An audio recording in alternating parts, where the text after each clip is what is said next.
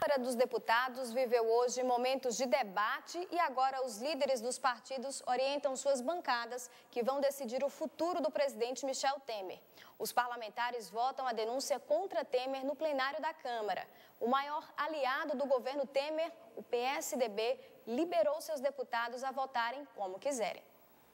Os primeiros deputados chegaram à Câmara por volta de 5 horas da manhã. Alessandro Molon postou uma foto com o horário. Quando a sessão foi aberta, às 9 horas, o relator deputado Paulo Abiakel, do PSDB, confirmou que já havia dito na Comissão de Constituição e Justiça.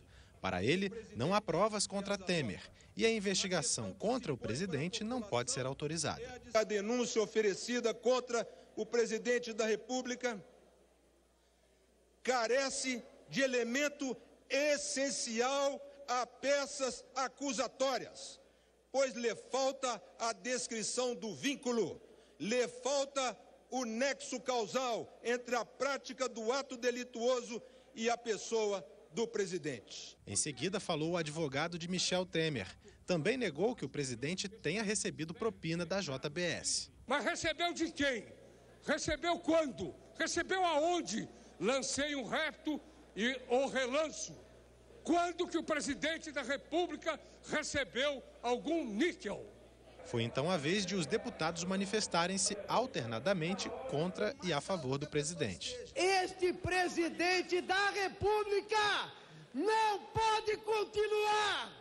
Nós temos que abrir o processo. Agora não podemos aceitar, no momento de instabilidade do país, em um momento onde o mundo inteiro lá fora está vendo, mercado financeiro interno e externo, se acovardar para fazer da política quanto pior, melhor.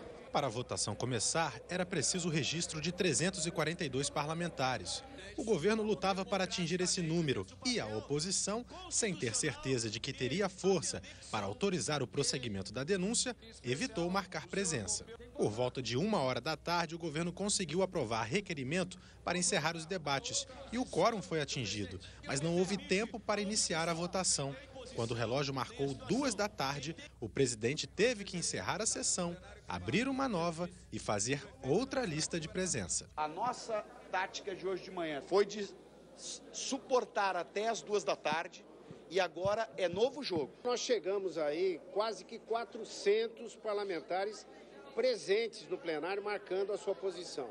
Então é importante que nós possamos, nesta segunda sessão, a gente possa rapidamente ouvir as lideranças. Lógico que as lideranças da oposição vão tentar, de todas as maneiras, obstruir, mas a gente quer concluir esse processo no dia de hoje.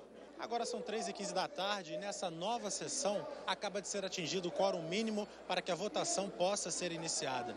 Já aqui, mais de 342 parlamentares. E a oposição acusa o governo de estar negociando até esse momento emendas parlamentares em troca de votos favoráveis a Michel Temer. Antes da votação, o clima esquentou. Empurra-empurra entre os parlamentares que reagiam a provocações dos dois lados. A partir daí, os partidos encaminharam a indicação de votos e cada um dos 513 deputados aguardou a hora de começar a votar.